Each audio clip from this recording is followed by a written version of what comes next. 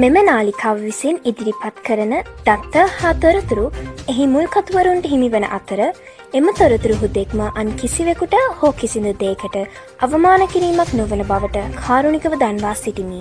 ස්තුතියි.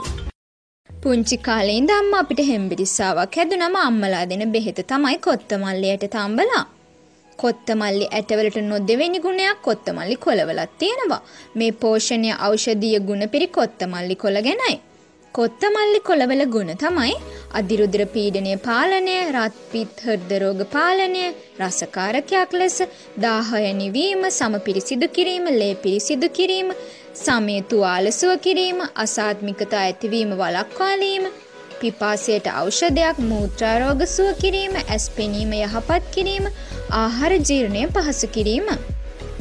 මෙතරම් ගුණදායක කොත්තමල්ලි කොලා අපට විවිධාකාරයට භාවිතා කරන්න පුළුවන්. විශේෂයෙන්ම ආහාර සැරසිල්ලක් රසකාරකයක් විදිහට යොදා ගන්නවා. ඒ වගේම තමයි සුප් කොත්තමල්ලි කොළ සම්බෝල සලාද බත් සමග ආදී ක්‍රමවලට සිරුරට පෝෂණය ලෙස එකතු කරගන්නට පුළුවන්. කොත්තමල්ලි කොළ ප්‍රතිකාර ක්‍රම කිහිපයක් අපි බලමු. හිස්සරදය සඳහා කොත්තමල්ලි කොළ ඇල්වතුරෙන් අඹරා නලලේ ගල්වන්න. සමදීප්තිමත් කිරීමට නිරෝගී කිරීමට කොත්තමල්ලි කොළ ආහාරයට එක් කරගන්න. සමේ රෝග ඉදිමුම් වලට කොත්තමල්ලි කොළ අඹරා තුවාලවල ගල්වන්න.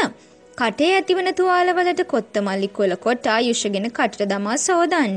සමරැලි වැටීම වලක්වා පැහැපත් කර දීමට කොත්තමල්ලි කොළ යුෂ කෝමාරිකා සමග මිශ්‍ර කර ඇඟ ගල්වන්න.